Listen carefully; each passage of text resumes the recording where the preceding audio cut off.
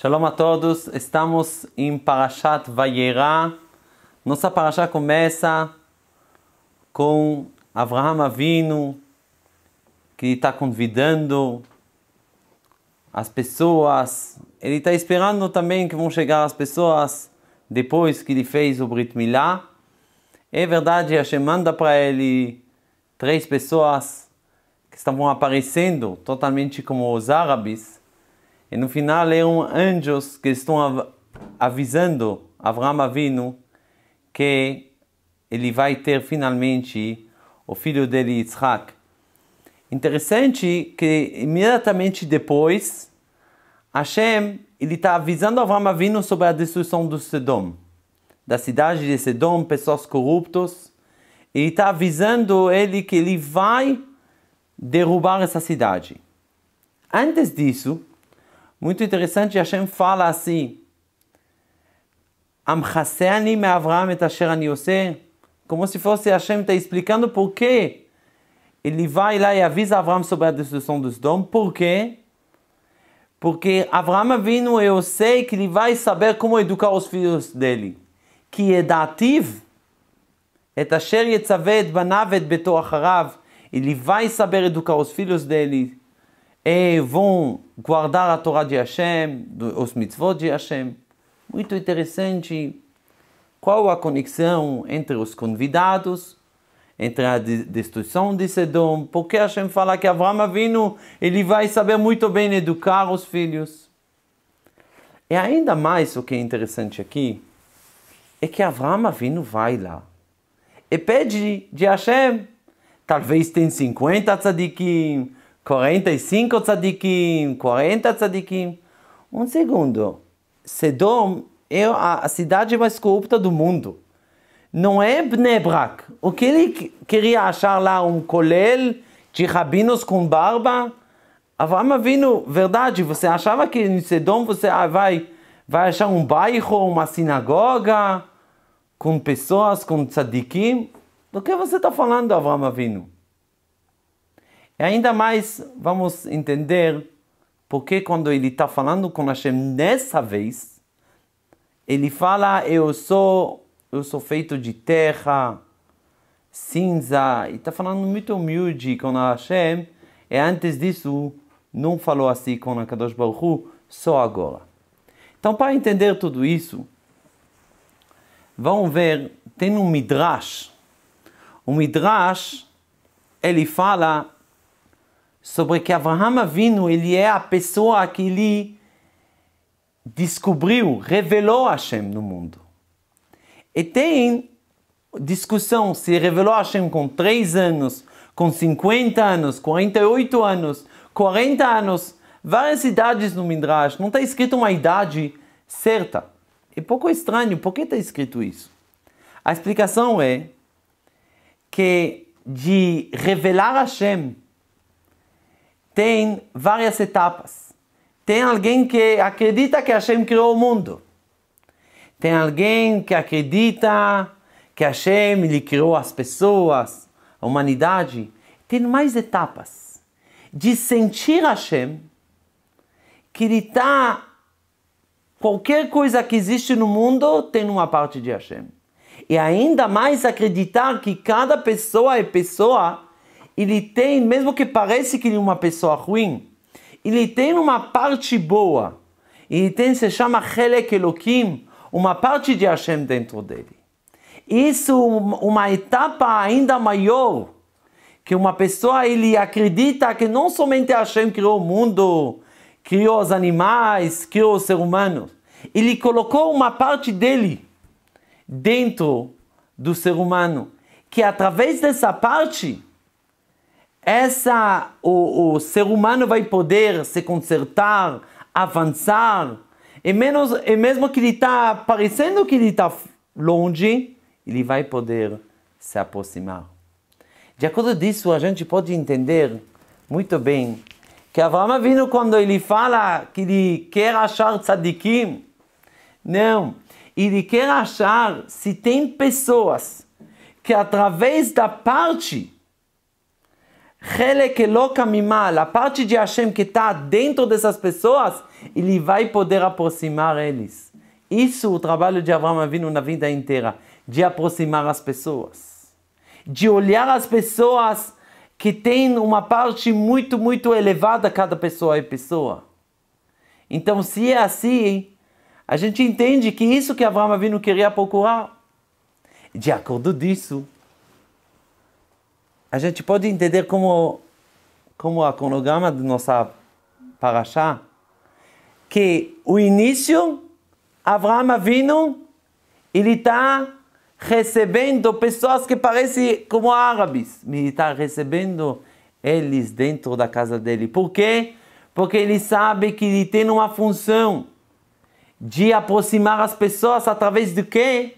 Porque ele acreditava que cada pessoa e pessoa tem uma parte boa dentro dele. E por isso, Hashem mesmo fala para ele: Eu vou avisar Avraham Avinu que eu vou destruir Sodom. Por quê? Porque ele sabe muito bem, ele sabe como olhar a parte positiva a cada pessoa e pessoa. Por isso que eu vou avisar ele. E eu sei também mais uma coisa: que ele vai saber educar os filhos dele na, da melhor maneira. Por quê? Porque alguém que sabe olhar o positivo em cada coisa, sabe olhar a parte eterna, a parte de Hashem, cada pessoa é pessoa, quando ele tem um filho, que talvez esse filho tem desafio, é difícil para ele ir no caminho de Hashem, ele não vai afastar esse filho, ele vai aproximar ele, ele vai achar exatamente a parte divina dentro desse filho. É isso o grande segredo de Avraham Avinu, que Hashem mesmo fala que ele vai saber como educar os filhos dele.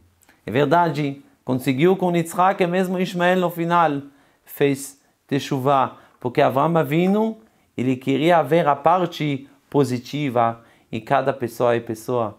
E quando Avraham Avinu, como se fosse ele quer convencer Hashem, que talvez vai ter pessoas que ele vai conseguir aproximar, Ok? Ele fala para Hashem: sou feito de terra de cinza. O que tem a ver com isso? Hashem, olha bem. Eu sou feito de terra. Eu sou tanto material. Eu sou nada. Mas mesmo assim você está falando comigo. Como pode ser que você está falando comigo? Certeza por causa que eu tenho dentro de mim uma coisa muito elevada já que eu tenho dentro de mim uma coisa muito elevada, eu estou acreditando nisso, nessa coisa tão elevada. Por isso, eu quero pedir, por favor, para não destruir Sedom. Por favor, talvez vou achar as pessoas que eles, através dessa parte divina, vou poder aproximar eles. Mas, infelizmente, não tinha pessoas. Estavam tanto corruptos, tanto estragaram a parte deles, a parte divina deles, que Abraão Avinu não poderia aproximar eles. Mas o que falta aqui a perguntar? O fato que Hashem fala para Abraão Avinu, eu vou destruir Sedom. Como Abraão Avinu entendeu que ele precisa agora pedir para eles? Como ele entendeu? É, é muito interessante. Hashem fala para ele, vou destruir Sedom. Talvez Hashem gosta dele, lhe avisa. Talvez é para tirar Lot de lá, como que aconteceu, verdade, na Parashá.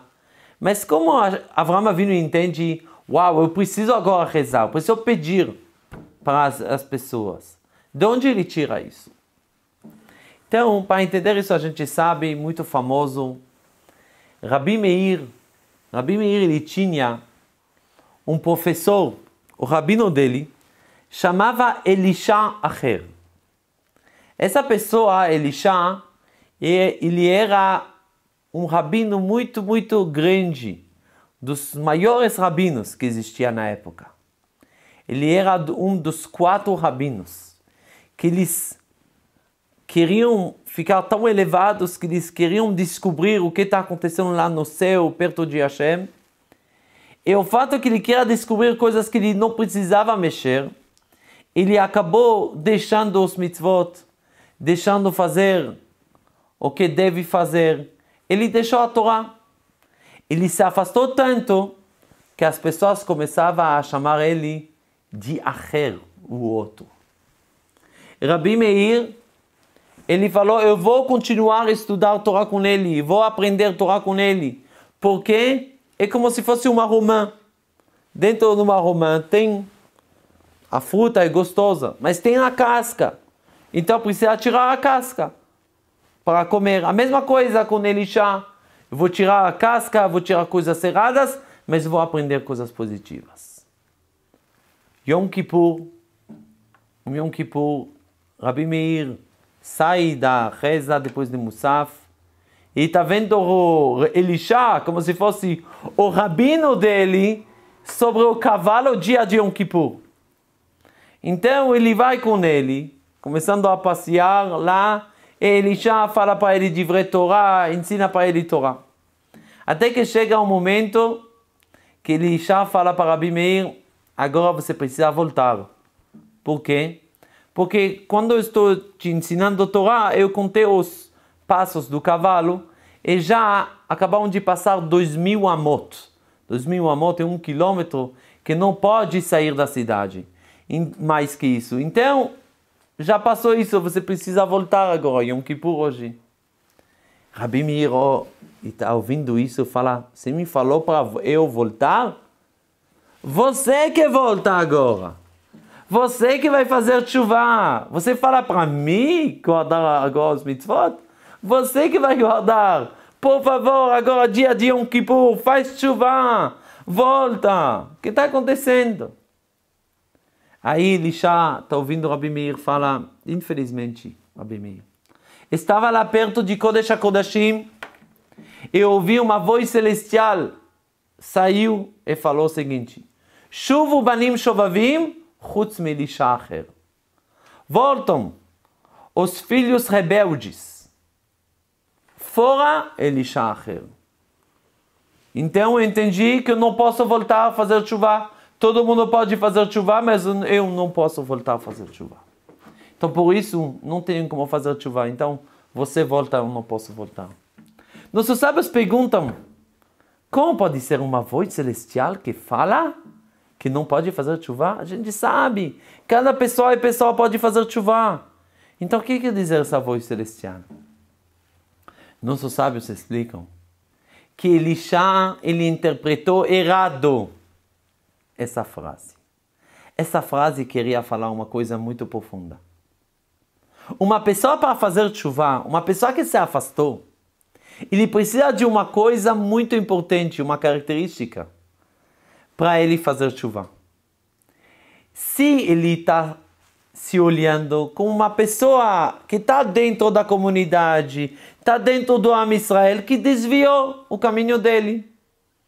Então, se ele está se olhando como uma pessoa que faz parte do Am Israel, que só desviou do caminho um dia vai voltar, ele é como se fosse, se chama Shovav, uma pessoa que ele é, que faz coisas erradas, como você fala sobre crianças que são Shovavim, eles fazem bagunça e tudo isso. Se ele se olha assim no espelho, então um dia é muito mais fácil para fazer chuva. Mas se ele se olha como outra pessoa, ele faz parte de outro de outra sociedade e não faz parte mesmo do Am Israel, como se fosse que saiu do Am Israel, então a autoestima dele é assim, para, fala para ele, você já não pertence aqui. Então isso que vai fazer ele não fazer chuva. É isso a voz celestial falou para Elisha. Elisha, querido, você, todo mundo está te chamando de arrer de outro.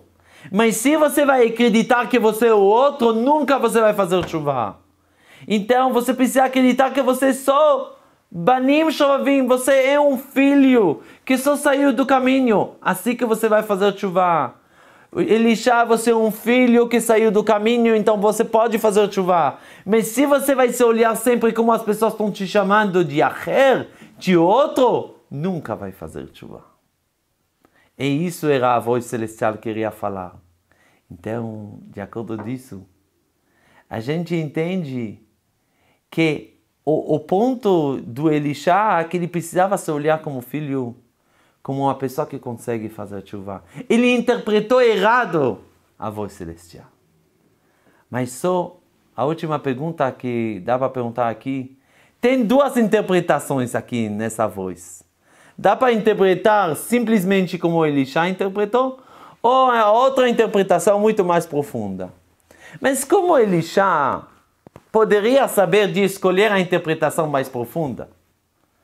Talvez, verdade, ele entendeu a interpretação mais simples. Como ele poderia entender que essa voz celestial está chamando ele para fazer chuva e não exatamente o contrário, está, está rejeitando ele de fazer chuva? A resposta é a seguinte: alguém para desistir, para abrir mão, não precisa uma voz celestial. Não precisa que Hashem fala para ele, para ele desistir. Se Hashem está chamando você, está te falando com você, é para te dar uma esperança, não para você desistir. Então, certeza, Elisha, você precisava interpretar que essa voz quer te chamar para fazer chuva. Porque para te falar que não tem chance para chuva, não precisa falar isso para você. Sozinho você vai cair, você vai desistir. E muito mais difícil de ter esperança de, de ficar deprimido. É mais fácil de ficar deprimido, ninguém quer você mais. Então você vai ficar deprimido. Se Hashem está te falando, é para você fazer uma ação, para você acreditar que dá para mudar coisas. Mesmo que as pessoas não estão acreditando nisso. De acordo com isso a gente entende Abraão Avinu ele entendeu se Hashem está me contando que ele vai destruir Sedom, não é para falar, oh, que eu posso fazer, oh, pena. Não é. Se Hashem está falando comigo, ele quer mesmo que eu faça um esforço para poder salvar. Eu faço uma coisa. Hashem fala comigo para fazer um esforço. E esse esforço ficou para muito tempo. Mesmo que no final Hashem destruiu Sedom. Mas dentro de nós, que a gente é filhos de Abraão Avinu, temos esse esforço de sempre procurar o parte positivo, o parte divino, o parte eterno.